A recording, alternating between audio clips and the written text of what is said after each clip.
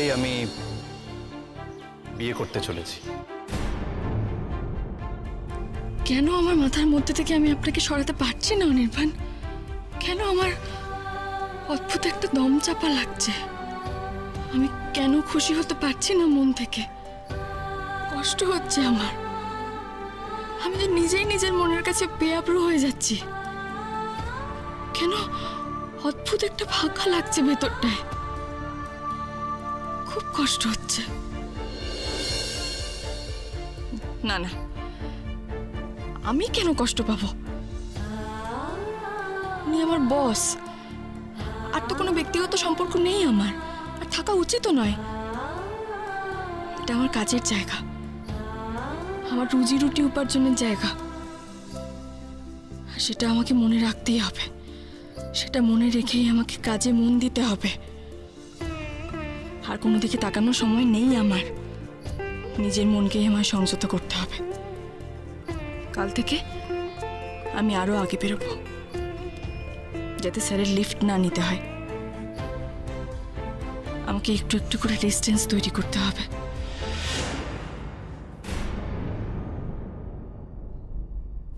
রায় দিদি স্যার ডাকছেন। এক্ষুনি একবার আপনাকে যেতে বললেন। তুমি যাও আমি আসছি। আচ্ছা। সর্বনাশ। ফাইলের থেকে পয়েন্টগুলো নোটই তো করা হয়নি এখনও।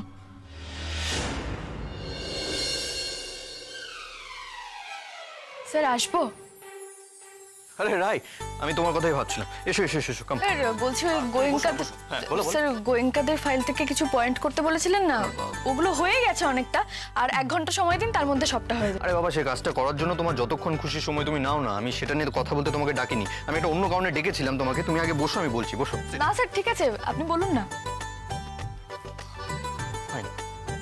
রায় আমি তোমার সাথে আজ সকালে অত বড় একটা খবর শেয়ার করলাম। তুমি তো কোনো উৎসাহ দেখালে না।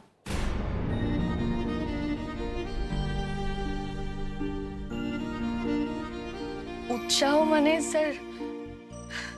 স্যার বসের বিয়ে এটা তো এমপ্লয়ীদের কাছে সত্যিই খুবই আনন্দের বিষয়।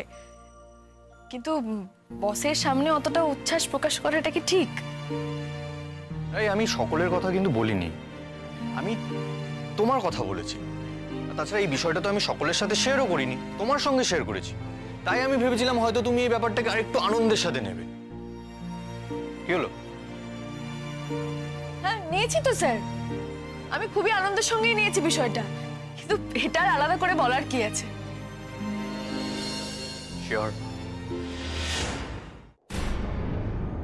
কিন্তু আপনি আমাকে সন্দেহ করছেন কেন? তাহলে একবারও জিজ্ঞেস করলে না কেন? আমি কাকে বিয়ে করছি? স্যার সেটা অনধিকার চর্চা হয়ে যাবে না? আপনি যাকে বিয়ে করছেন সে নিশ্চয়ই খুব ভালো। নিশ্চয়ই আপনার সঙ্গে পারফেক্ট ম্যাচ আপনারা নিশ্চয়ই একে অপরকে খুব ভালোবাসেন। ইয়েস তুমি ঠিকই বলেছ। আমরা একে অপরকে সত্যি খুব ভালোবাসি।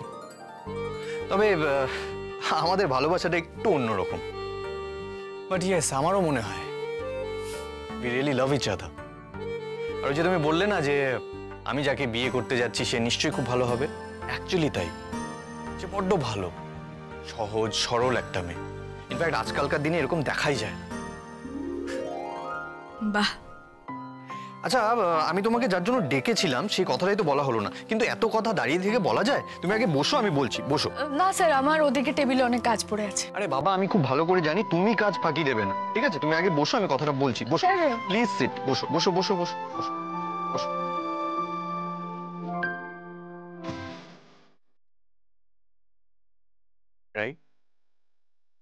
আমি তোমার কাছ থেকে একটা হেল্প চাই। বলুন না স্যার।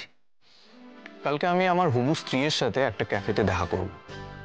তুমি আমার সাথে থেকো প্লিজ মানে? আপনি আপনার হবু স্ত্রীর সঙ্গে দেখা করতে যাবেন সেখানে আমি থেকে কি করব? দেখো আমার এখানে রিলেটিভ বলতে বেশি কেউ নেই। আর ভালো বন্ধু বলতে তুমি একমাত্র একজন আছো। কেন? আপনার বোন রয়েছে শর্মি তার হাজবেন্ড রয়েছে আর আপনার তো অনেক রিলেটিভও রয়েছে। অনেক শুভাকাঙ্ক্ষী রয়েছে। আমি কেন? ওয়েল এটা তুমি আমার একটা অনুরোধ বলতে পারো। দেখো শর্মী মন্দার ওদের কি কাজ টাজ আছে ওরা আসতে পারবে না। আর এখানে আমার ওয়েলভিশার বলতে সেরকম কেউই নয়। প্রথমবার দেখা করব তো তুমি সাথে থেকো প্লিজ প্রথমবার দেখা করব মানে? এই তো একটু আগে বললেন আপনারা নাকি একে অপরকে খুব ভালোবাসেন। সেটা কি না দেখেই? হ্যাঁ। না? হ্যাঁ মানে ওয়েল অ্যাকচুয়ালি হ্যাঁ না দেখেই ভালোবেসে ফেলেছি। আসলে বিষয়টা বিষয়টা বড্ড জটিল। আমি তোমাকে এভাবে বোঝাতে পারব না। মধ্যে কথা হলো, তোমাকে আমার সাথে থাকতে হবে, বাস।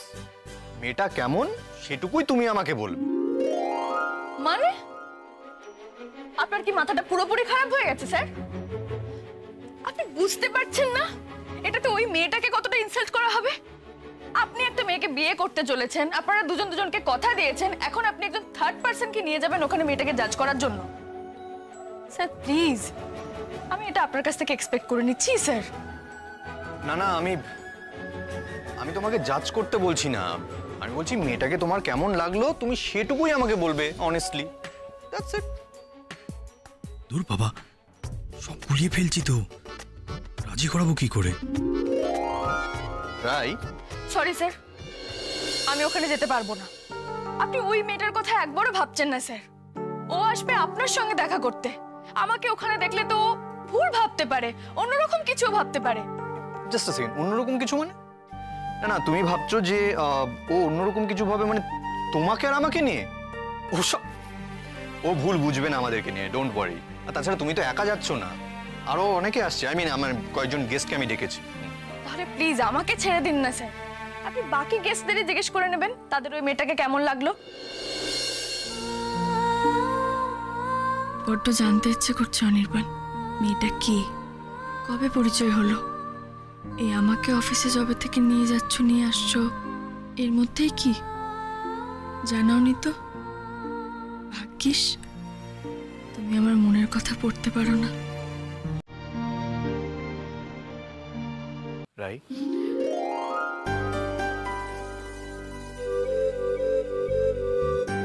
তুমি কি চাও না আমি এই বিয়েটা করি?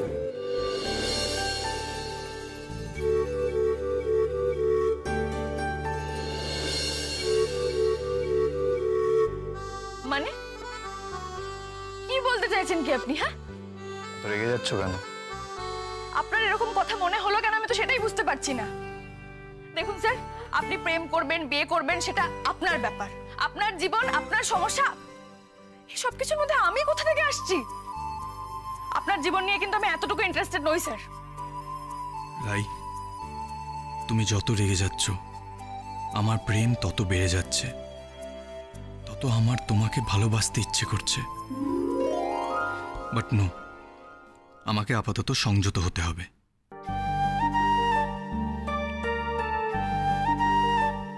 তোমার এত দ্বিধার কি আছে এতে? না তোমার এই দ্বিধাবোধ দেখেই আমার মনে হচ্ছে তুমি এই বিষয়টা নিয়ে খুব একটা খুশি নও। সেই কারণেই তুমি এই বিষয়টার সাথে জড়াতে চাইছো। আর তাই কাল ওখানে যেতেও চাইছো। প্লিজ আপনি এরকম ভাববেন না। ওকে ফাইন আমি এটাকে আমার বসের অর্ডার হিসেবে মেনে নিলাম। চলে যাব কালকে আমি। কোথায় যেতে হবে সেটা আমাকে বলে দেবে। তাহলে এখন যাই? যাবে? হ্যাঁ। না তাহলে ওই খাবারগুলো কে খাবে? মানে? মানে আমি অনেকদিন ধরে লক্ষ্য করছি তুমি নিজের লাঞ্চটা আনছো না। আমি জানি সেটা। আজ আমি বেরোনোর আগে আমার রান্নার মাসি কল্পতরু হয়ে আমাকে টিফিন করে দিয়েছে। ওই রাখা আছে টেবিলে? চটপট করে খেয়ে নেবে এসো। Thank you so much sir আপনার খাবার আপনি এনজয় করুন।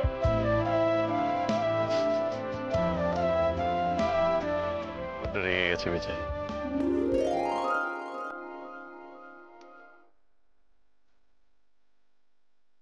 না। ঠাট্টা করছেন উনি আমার সঙ্গে। উনি আমাকে টেকেন ফর গ্রান্টেড ধরে নিচ্ছেন। এভাবে চলতে পারে না। কিছুতেই না। যাই হয়ে যাক। আমি আজকে ওর সঙ্গে বাড়ি ফিরবো না। ওর গাড়িতে উঠবো না।